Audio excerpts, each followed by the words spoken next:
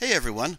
People don't realize that Apple's remote management lock bricks and kills potentially millions of perfectly good Apple devices, easily as many as Activation Lock, and in a lot of ways it's actually worse than Activation Lock because remote management is very hard to detect and how it behaves is far less straightforward.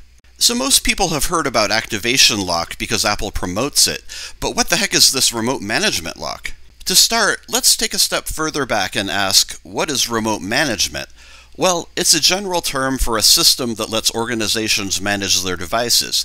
Basically, when you have an institution that uses a large number of phones, tablets, and laptops, it's useful to have some way to deploy software to those devices, to enforce policies so users can't do things that are forbidden, to customize the interface, to track where a device is at the moment, to see what your users are doing on the internet, to remote wipe or brick the device. Remote management can give a company a huge amount of control over their devices and their employees' use of those devices. Remote management exists for all kinds of platforms and brands, but here we're going to focus on Apple. Some terms related to remote management are DEP, DEP, Device Enrollment Program, and MDM, Mobile Device Management, and there are a lot of other acronyms as well. It's a very acronym happy technology. Remote management generally keeps track of devices by the serial number, and the serial of the device gets entered into the admin tool by the administrator. When the device's serial has been set up, and then that new device connects to Wi Fi, the device checks with relevant Apple servers and essentially asks, Hey, am I a managed device? And if the Apple server says yes, then Apple passes it on to the management server, and the management is enforced on that device based on a profile set up for it. And all of the profile settings and software comes down. If it's not a managed device, then the user goes about their business setting it up and using it just like they bought a personal device at the Apple Store.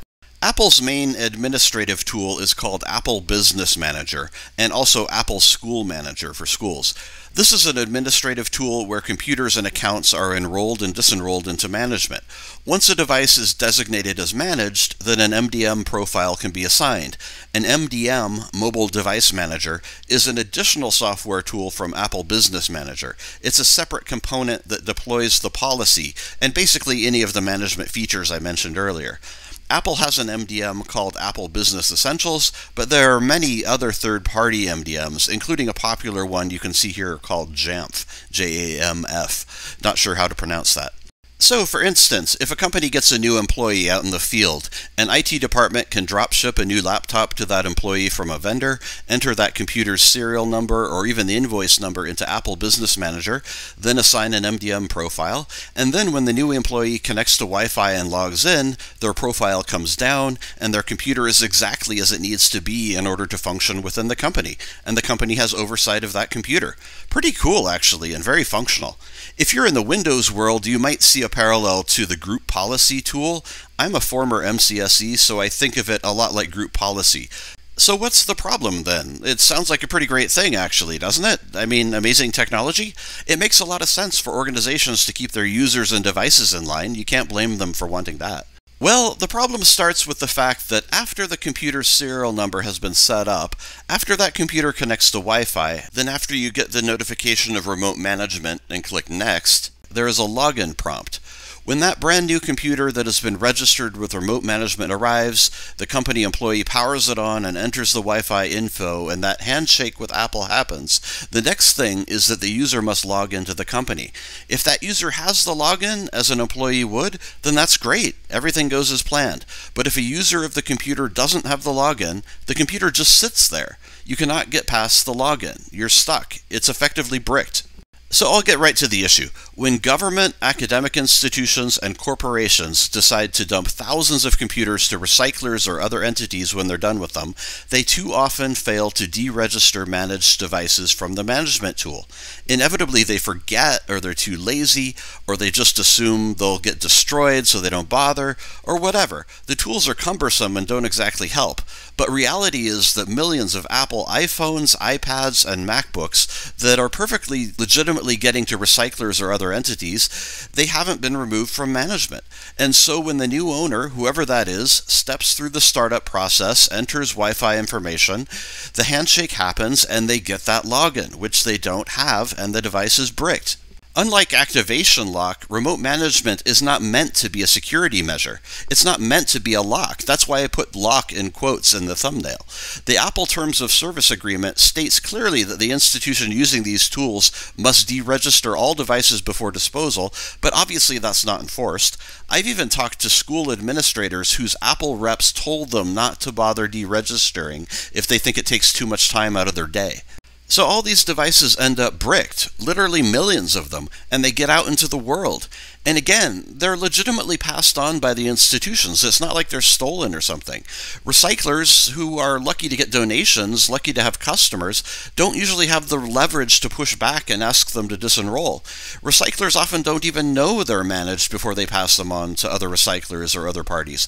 I've personally bought thousands of managed devices from recyclers who had no idea they were managed, and I can tell you that I've known dozens of other refurbishers that have had exactly the same experience. You might say, well, but oh, don't worry, Apple will make this right, right? If you just let them know there's been a little snag in their system, they'll fix it because they want the computer to be reused. Uh, yeah, no. Actually, Apple states explicitly that they won't do a thing about remote management, which, hilariously, is even harsher than their approach to activation lock, which is supposed to be a lock and an anti theft measure. As terrible as Activation Lock is, and as many devices as it destroys, at least there is a procedure, at least there is a 1 in a thousand chance that Apple might unlock your device. But with remote management, that's where they draw the line. Apple just says no. So, John, you ask, just do like Apple says to do on their webpage. The obvious thing is for the recycler that receives a thousand managed iPhones to ask the institution to deregister them.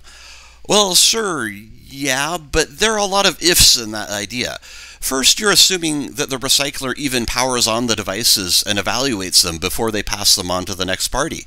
If they don't, or if they receive them from another recycler themselves, then they have no leverage whatsoever to ask the original donating institution to deregister. Power dynamics in the recycling world are different than in the typical customer vendor relationship that you might imagine, and often the institutions simply don't care or will not respond to requests. Additionally, even if the donating institution is sympathetic and decides wholeheartedly to help, it's an absolutely horrific situation and requires tons of work, which often can't even be financially justified. Hold on to your seat. This is what needs to happen in that scenario. First step, let's say a recycler gets a couple pallets of MacBooks. The recycler's goal is to make a list of serial numbers that are managed for the institution to take out of their system, right? Sounds straightforward, but it's actually really difficult.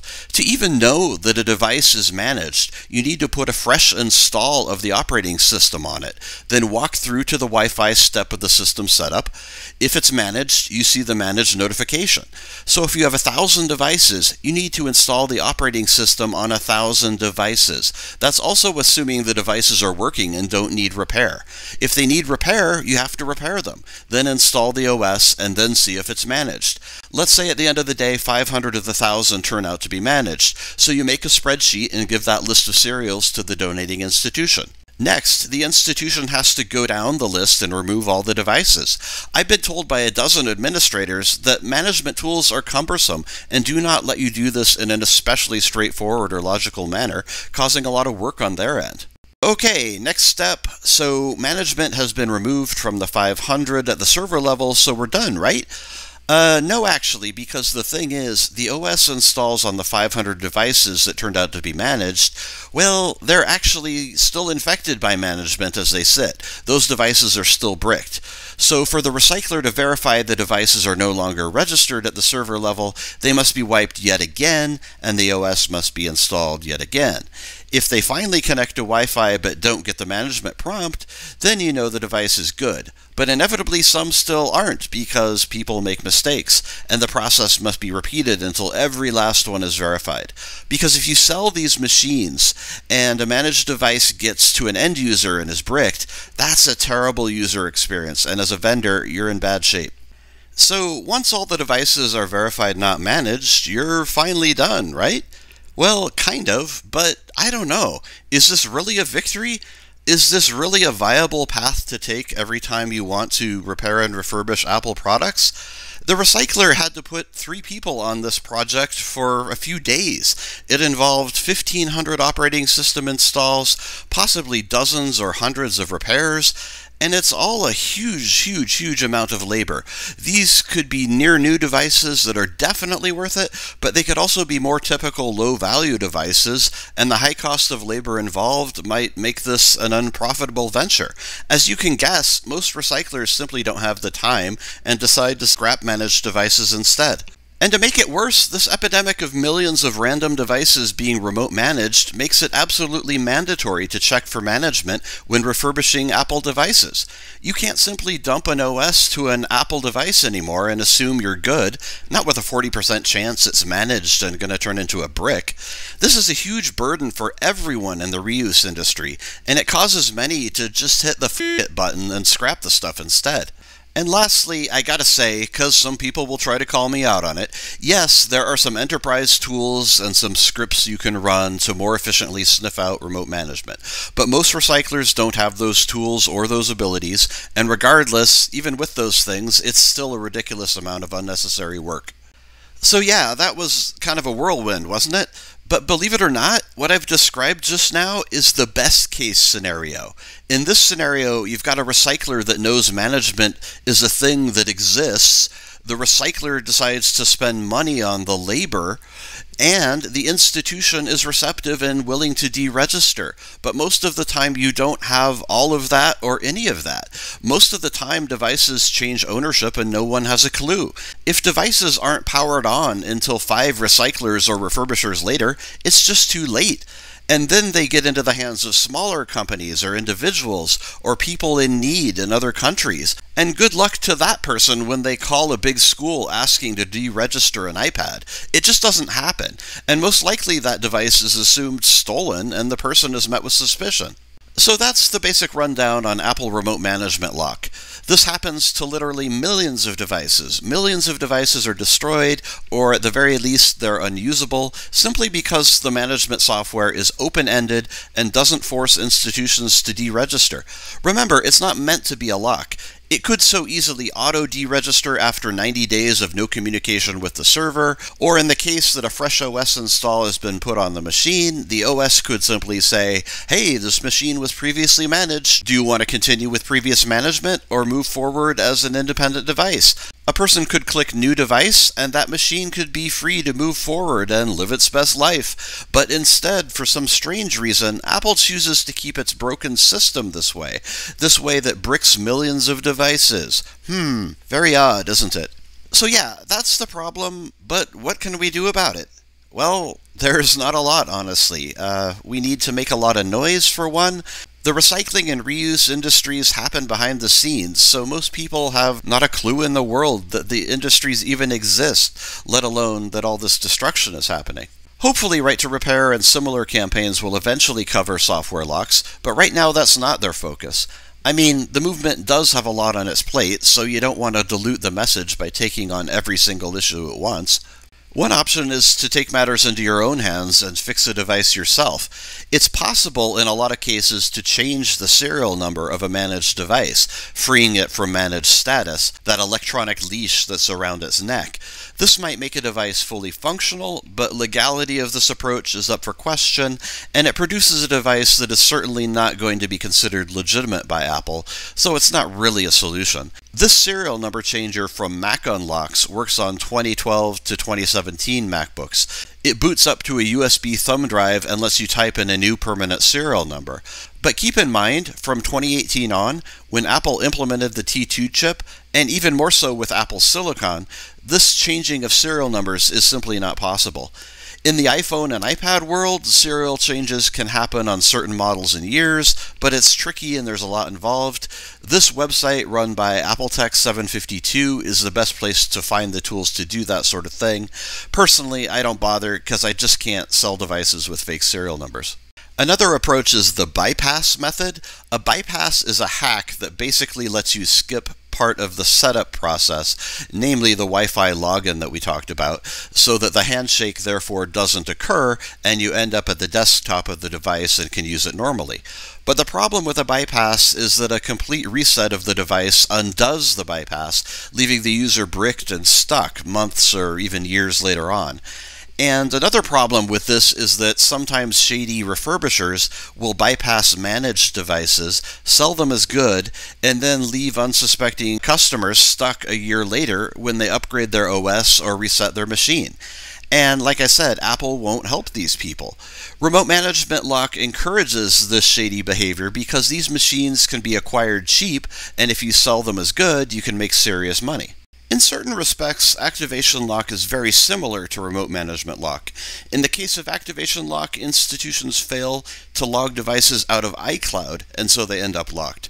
In both cases, you have a badly designed system that requires a manual step, which of course as humans we one way or another fail to do, and then millions of devices ultimately end up bricked and scrapped. But activation lock is far easier to spot and doesn't require constant reloading of the OS, so it doesn't demand the same labor burden and frustration as remote management lock. There's a lot of irony, really, to the fact that remote management lock is as bad or even worse than activation lock. Devices can even be activation locked and remote management locked, as I reported in this video. Oh, and before people start saying any of this has anything to do with data security, with wiping data, let me point out most of these devices dumped to recyclers are fully wiped and restored, so there's no data security issue. There's no data from the source on these devices normally. These locks are based on serial numbers, so even wiped and restored, these locks still exist. So, yeah, it's depressing, it's overwhelming, I know. Believe me, I've been dealing with it for many years as a refurbisher, and I've seen the number of salvageable devices shrink right before my eyes.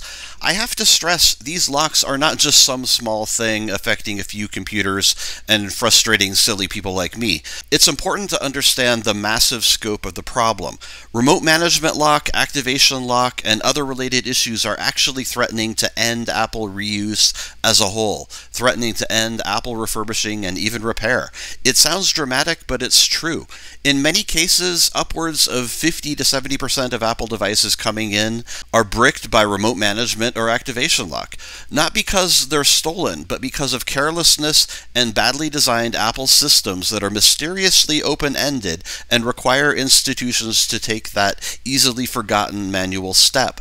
On top of the software lock disaster, you have Apple parts pairing going on right now, which cryptographically ties all parts together and rejects perfectly good used parts. So refurbishers and repairers can't repair, and which turns all good used parts to trash.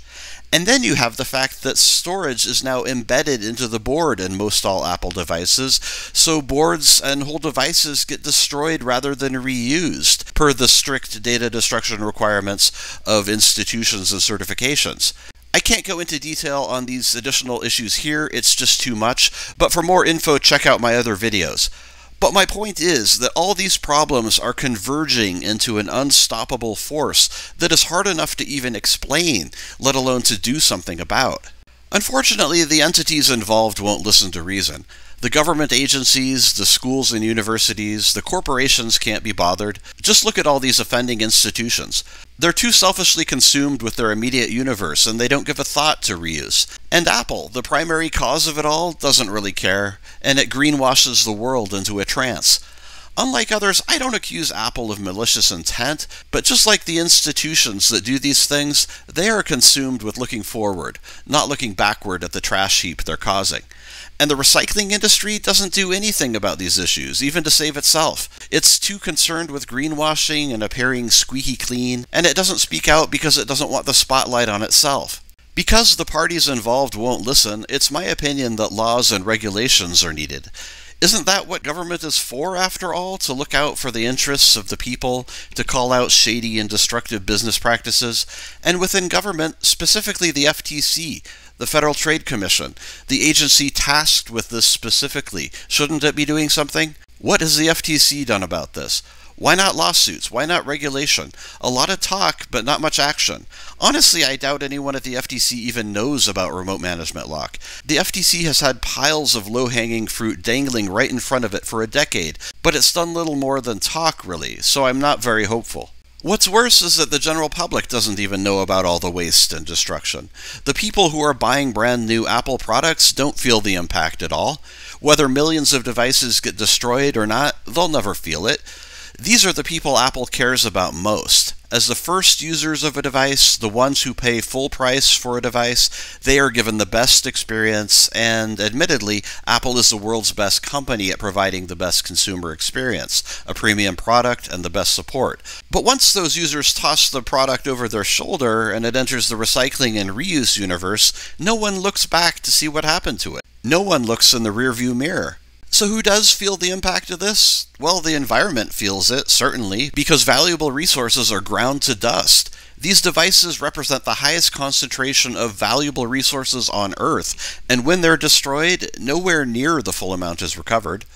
Thousands of businesses that do repair and refurbishing feel it. They no longer have products to work with. As businesses, they no longer pump money into the economy and support those around them.